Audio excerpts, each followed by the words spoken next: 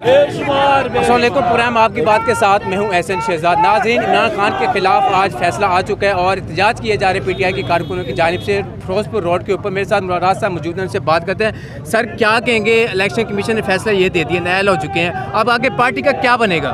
कुछ भी नहीं बनेगा। पार्टी का एक ही लीडर है हमेशा से और हमेशा रहेगा वो इमरान खान साहब है। उसके अलावा ये सारे फैसले जो हैं क्योंकि पीडीएम की बी टीम जो है इलेक्शन कमीशन वो कर रही है उनके कहने पे। ये सब कुछ ठीक हो जाएगा इन ताला मुझे कोई शक नहीं है। आगे जाके जहाँ जिस भी वेन्यू पे हम जाएँगे सुप्रीम कोर्ट वगैरह इन ताला बिना सब चीज़ें ठीक हो जाएँगी। सर पहले इलेक्शन कमीशन ने ये फैसला दिया जीत चुके थे आपको लोग खुश थे जब पीटीआई जीती है इलेक्शन जिमनी इलेक्शन आज एहतजाज कर रहे हैं आप? बिल्कुल भी नहीं हम कभी भी खुश नहीं थे इलेक्शन कमीशन के साथ। इलेक्शन हम जीते हैं क्योंकि लोग बाहर आए थे। इलेक्शन कमीशन का इसका कोई अंदर इसके इसके हमारे जीतने में कोई हाथ नहीं था। अवाम बाहर निकली अवाम ने वोट किया और आ, आ, हम इलेक्शन जीत गए। इलेक्शन कमीशन तो हम शुरू दिन से कह रहे हैं कि ज, ज, ये जानबदार है इसको गैर जानबदार होना चाहिए। जो इलेक्शन कमिश्नर है वो गैर जानबदार होना चाहिए।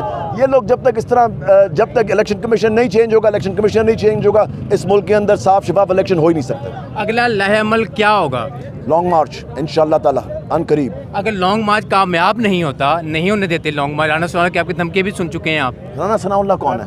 वो तो एक 25 किलोमीटर का वज़ीर दाखिला है। वो तो सिर्फ़ इस्लामाबाद का वज़ीर दाखिला है। और कहाँ का है वो? 25 किलोमीटर में क्या कर लेगा वो? जो कर सकता ना वो मुछड़ करके देख ले।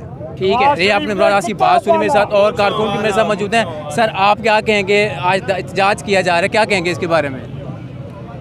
ये तो बात नहीं कर रहे और लोगों से बात करने की कोशिश करते आप क्या कहेंगे? देखिए मैं मेरा मानना ये है कि ये जो भी हुआ हम इसकी अच्छा हुआ। बहुत और मजम्मत करते हैं। हमें ये मालूम नहीं था, आज जो भी हुआ, हम हमें बिलीव है कि जो इलेक्शन कमिश्नर जो है, वो नू लीगी है।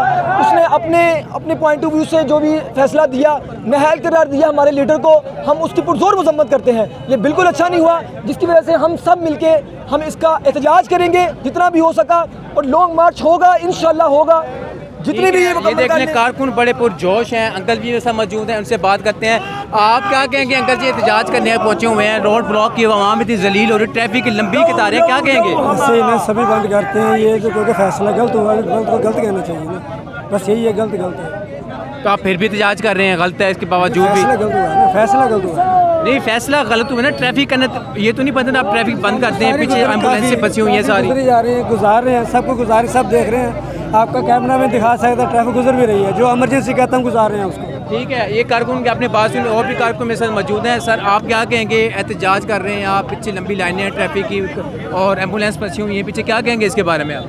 देखिए जी सबसे पहली बात तो अमन एहतजाज करें ना ये ट्रायल भी है। टायर जलाना कौन सा? ये तो प्रोटेस्ट का हिस्सा है कि टायर जलाता है। कौन सी कोई गाड़ी का शीशा टूटा हो किसी को कोई रोका हो किसी को मारा हो किसी को दौड़ा हो?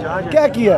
कुछ भी नहीं किया। अभी गाड़ी देखी अभी गाड़ी लड़ाई हो रही है गाड़ियाँ जा रही हैं। एक लाइन जा रही है खुली हुई अभी लड़ाई मैंने खुद देखी लड़ाई हो रही है लड़ाइयाँ तो होती रहती हैं। कौन सी जगह पे लड़ाई नहीं होती है? लड़ाइयाँ होती रहती है। इलेक्शन कमीशन जो मेन पॉइंट है उस पर है ना। इलेक्शन कमीशन ने जो फैसला दिया है ये उस वो जानबदार है वो टट्टू है नून लीग का वो पिट्ठू है नून लीग का। और उसको हम ये कहना चाहते हैं कि कौम इस फैसले को नहीं मानती। ये कौम खड़ी है ठीक है? कौम इस फैसले को नहीं मानती मुराद का ये भी कहना था कि अगर ये फैसला वापस ना लिया गया तो हम एहतजाज करेंगे इस्लामाबाद में जाके एहतजाज करेंगे।